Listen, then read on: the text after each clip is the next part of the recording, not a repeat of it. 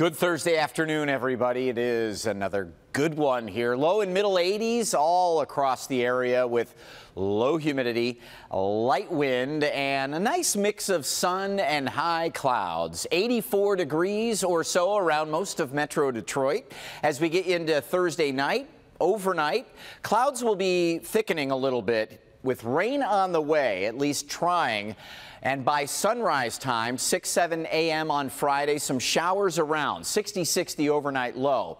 Have to remember the old farmers saying dry begets dry. As dry as it has been, it will eat into these showers as they first approach tomorrow morning. But through the afternoon today, pretty decent stuff here. As we get into tomorrow, look at that first round really starting to fizzle out. But still between 7 a.m. and probably 9 or 10 a.m., we'll have a few showers around.